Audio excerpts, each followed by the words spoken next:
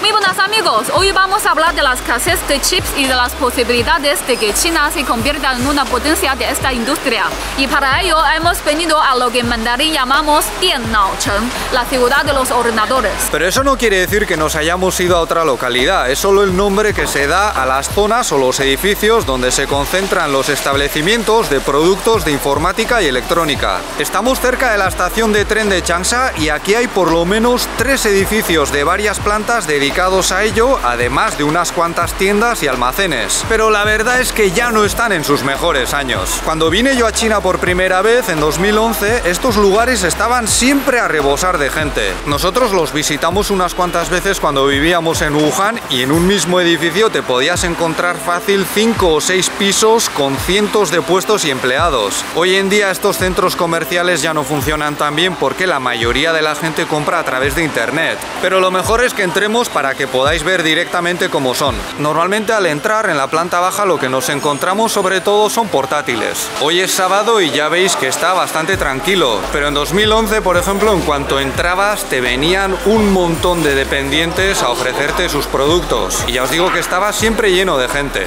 También hay plantas dedicadas a los móviles y recuerdo que en aquellos años los smartphones estaban en pleno auge. Bueno, los smartphones y también las tabletas. Y también había tiendas donde montarte tu propio PC para jugar a videojuegos, aunque ese boom llegaría más tarde. En parte porque la conexión a internet no era tan rápida y porque salía muy barato ir a los internet cafés.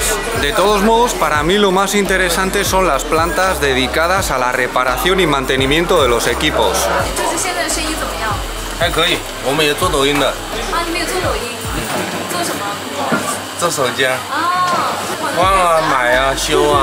手机系列，的所有服务都可以做。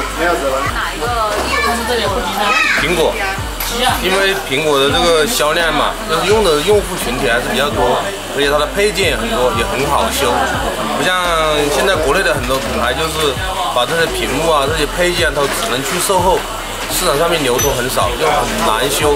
请问您一下，每天换多少个屏幕啊？换一个屏，呃，得一般得多长时间？快的半个小时吧，慢的一两个小时吧。我还 Yo lamentablemente no entiendo nada de esto, pero me encanta el ambiente. Aquí hay un montón de establecimientos de segunda mano donde te puedes deshacer de tus equipos viejos a cambio de unos cuantos yuanes. De hecho, ayer que también estuvimos grabando aquí, aproveché para traer mi PC y que le echasen un vistazo porque ya tiene casi 5 años, es lo que utilizo para editar los vídeos y anda así así. Y nos contaron algunas cosas muy interesantes. Lo primero, que me podían dar hasta el doble de lo que pagué en su momento por mi tarjeta gráfica. Y eso que no es gran cosa, es una GTX 1060 de 6 GB que ahora en estos momentos es más bien una patata. Lo que pasa es que comprar una nueva sale muy caro porque ya sabéis que también hay una escasez de este tipo de productos y los trabajadores de aquí nos explicaron que se debe a su uso en el minado de Bitcoin. Y es una actividad que también se concentra en este país. Hasta el 65% de todas las criptomonedas del mundo se extraen en China, aunque parece que ya se están anunciando limitaciones al respecto, ya se verá. Estando aquí aproveché para preguntarles qué necesitaría cambiar de mi PC para notar una mejora y cuando les dije el tipo de CPU que utilizaba noté que se les escapaba la risa, en plan, qué pringao. Lo que pasa es que tampoco son baratas precisamente y entonces me propusieron, ¿por qué no le damos una limpieza a fondo? Y nada, le metieron un ventilador a tope un rato, le sacudieron todo el polvo y la verdad es que luego al llegar a casa se notaba que iba más rápido. Ahora es cuando podéis aprovechar para ir a los comentarios a llamarme guarro. Bueno, vale, pero ya que estáis os podéis suscribir al canal, ¿no? Esta es la segunda planta e igual que en la primera, nada más llegar lo que nos encontramos, los productos destacados, estrellas, son los que tienen que ver con el streaming, con los directos. Luces, micrófonos, altavoces, porque ya sabéis que en China muchos se dedican a cantar. Está la gente de seguridad aquí, pero no nos dice nada. No hay ningún problema. 这里有小豆吗？小没有，Aquí es donde venden los altavoces que utilizan, entre otros, las señoras que vemos bailando en las calles o los grupos de jubilados que se ponen a cantar en cualquier esquina. Cuando era estudiante en Wuhan había varios edificios así cerca de mi universidad y solía ir mucho con mis amigas. A lo mejor no comprábamos nada, pero siempre había novedades.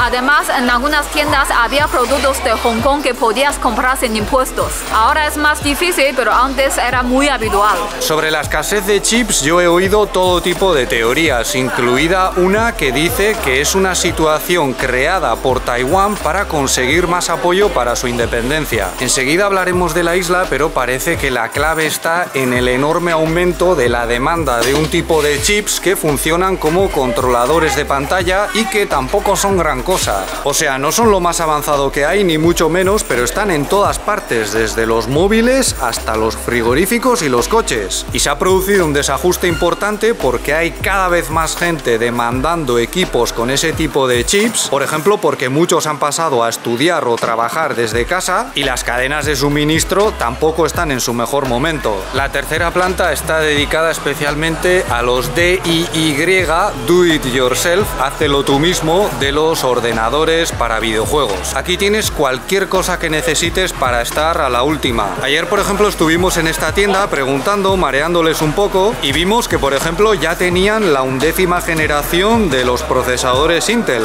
De hecho yo he estado siguiéndoles la pista en las últimas semanas porque tenían una función de decodificación a través de hardware que me parecía interesante y resulta que en China ya se estaban vendiendo incluidos en algunos equipos antes del lanzamiento oficial. Sé que esto también ha ocurrido en otros países pero es una forma de deciros que aquí todos los productos llegan muy rápido.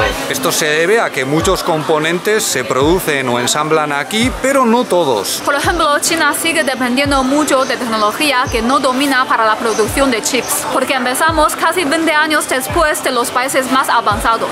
Esta industria tan importante en todo el mundo está controlada por no demasiadas empresas que se encargan de procesos que van desde el diseño hasta la fabricación de las propias obleas de silicio, por ejemplo, y aunque últimamente hemos visto mucha publicidad, yo diría que en algunos casos ha llegado al extremo de la propaganda sobre el hecho de que muchos de estos procesos se llevan a cabo en Taiwán. La última palabra en el desarrollo de esta industria la tiene una empresa con sede en Holanda que se llama ASML y que se dedica a la litografía avanzada. O sea, ellos tienen unas máquinas carísimas y prácticamente únicas en el mundo para la producción de los chips más avanzados.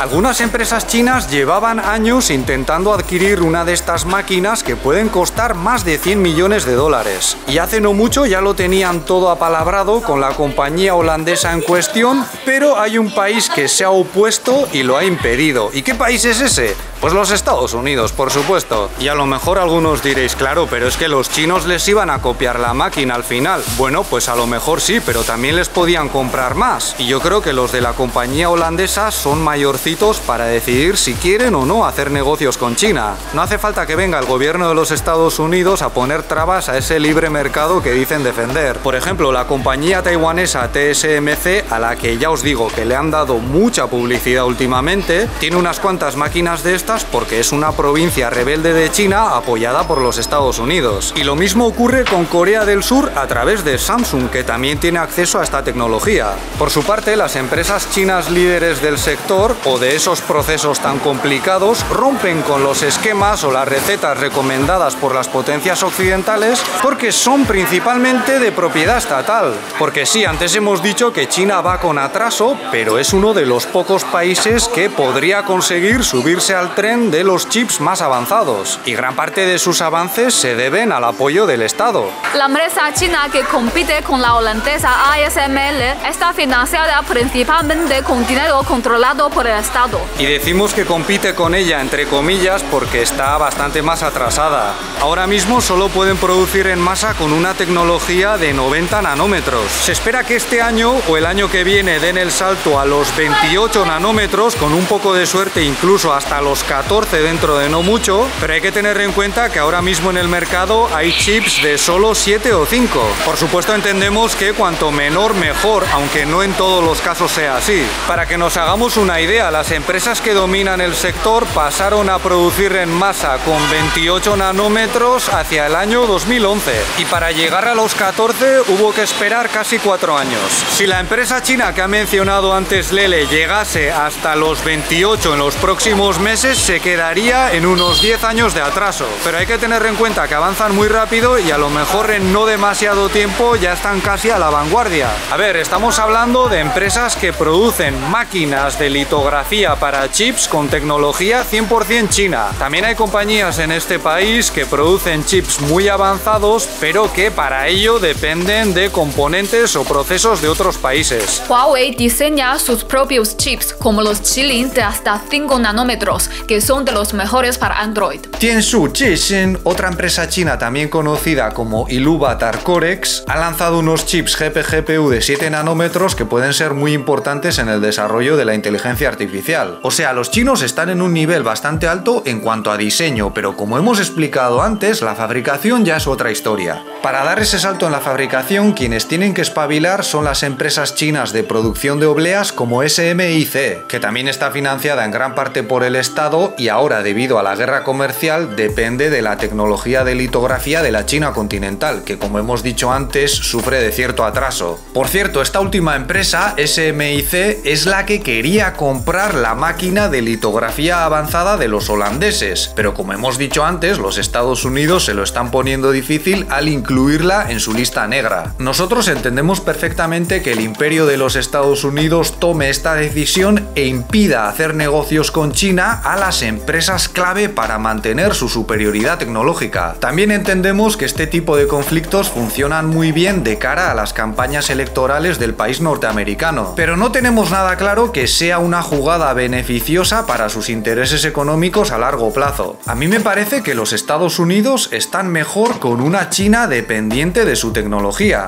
porque de esa manera sus empresas y también las de algunos países aliados tienen garantizada una muy buena posición en el mercado chino durante muchos años. Pese a las tensiones entre ambas potencias, aquí por ejemplo los productos de Apple se siguen vendiendo muy bien. Pero si declaras la guerra a las empresas tecnológicas de China y les obligas a ser independientes de las del extranjero, a lo mejor en el futuro te llevas un susto con la competencia que te pueden llegar a hacer y te vas quedando fuera del mercado más prometedor del mundo por pasarte de listo y de agresivo. Porque los consumidores chinos tampoco son tontos y cuando ven que desde los Estados Unidos se ataca de esa manera a sus empresas, pues no les hace ninguna gracia. El gobierno chino ya ha puesto en marcha políticas para apoyar todavía más a esta industria. Ahora las empresas de este sector van a tener importantes exenciones de impuestos. Eso es, y podéis estar seguros de que las universidades y los centros de investigación van a recibir inyecciones de dinero de que es solo cuestión de tiempo que se obtengan resultados. Porque hay algunos que piensan,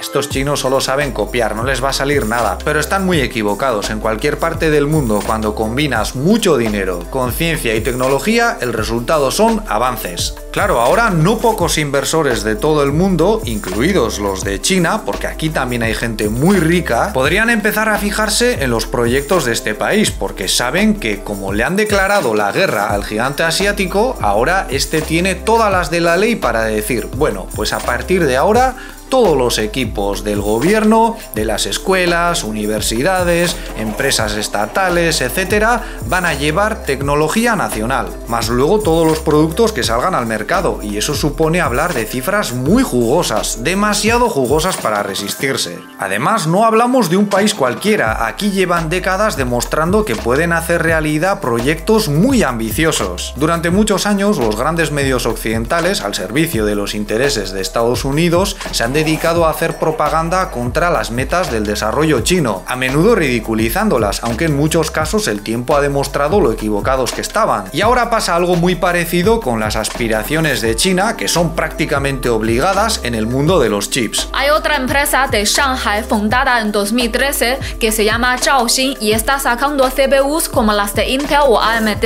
pero a un nivel mucho más bajo. Ellos también dependen de las máquinas de litografía extranjeras e insistimos en que de momento momento sus CPUs dejan mucho que desear. Yo he leído unos cuantos análisis en inglés sobre estos productos chinos y las reacciones en muchos casos han sido de bromas, jijijaja. Pero una vez más hablamos de una empresa estatal y es posible que sus equipos, que ya los venden en el mercado y a buen precio, acaben en muchas oficinas de todo el país. Y eso quiere decir grandes beneficios para, por ejemplo, reinvertirlos en investigación y desarrollo. También hay otra empresa estatal, Feiteng, que acaba de lanzar una CPU para equipos de sobremesa con arquitectura ARM de 8 núcleos. A ver, esta CPU tampoco es la bomba, pero hay quienes dicen que podría ser un producto hecho al 100% en China. Y en el caso de ser cierto, esto implicaría que los chinos ya tienen una máquina de litografía más avanzada que la que hemos mencionado antes. Sea como sea, estos procesadores están dirigidos sobre todo al uso en oficinas y se están vendiendo muy bien. Y algunos dirán,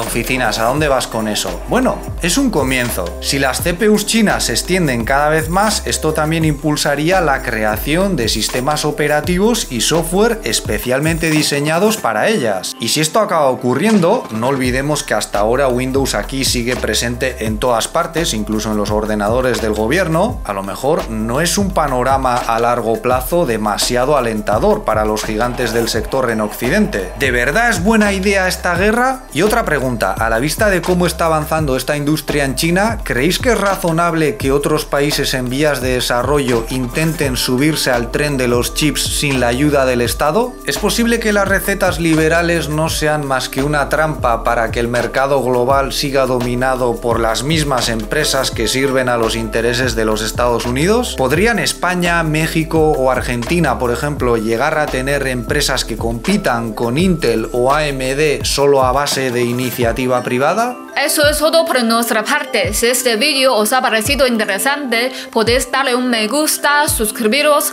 o ayudarnos con Patreon donde tenéis más contenido. Muchas gracias por vuestra atención y hasta la próxima. ¡Hasta luego!